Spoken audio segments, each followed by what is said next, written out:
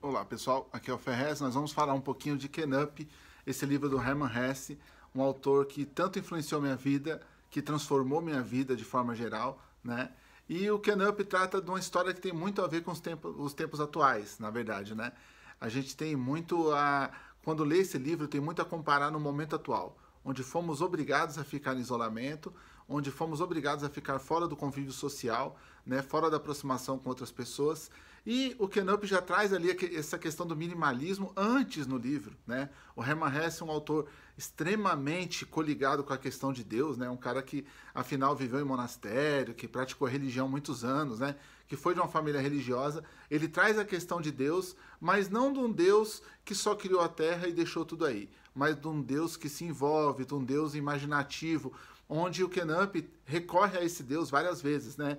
Kenup é um andarilho, anda sempre ali com, aquele, com aquela bibliotequinha dele na mão, a mini bibliotequinha com seus rascunhos, suas poesias, né? É um cara que a natureza faz nele um grande sentido, faz uma grande diferença na sua vida, e é um cara que com pequenos gestos ele consegue entender a vida muito bem. Então é um livro muito atual, é um livro muito necessário e ter esse relançamento nesse livro, é, nesse momento que a gente está vivendo, eu acho que é, é uma grande sorte nossa. Perante todo o caos, é uma grande sorte, é uma grande oportunidade de você reler um dos maiores autores do mundo e com certeza um dos maiores pensadores e convergentes dessa realidade que a gente está vivendo hoje. É, qualquer livro que você for recorrer, talvez não te traga a paz de espírito que um livro do Hermann Hesse traz.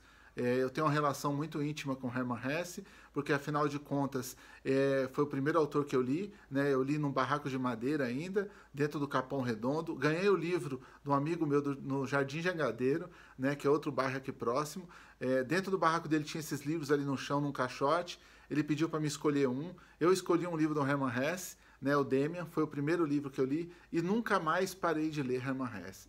É, o Kenamp, esse livro né, bem curtinho do Hermann Hesse, é um livro mais fininho, eu li na Alemanha, levei na Alemanha, fiquei 10 anos com esse livro na, na minha posse, esperando ter a oportunidade de ler na Alemanha, e pude ter essa felicidade de ler em Berlim, né, enquanto eu passava pela Alemanha. Então, realmente foi uma, uma sorte muito grande ter o contato com esse autor de novo através dessa obra.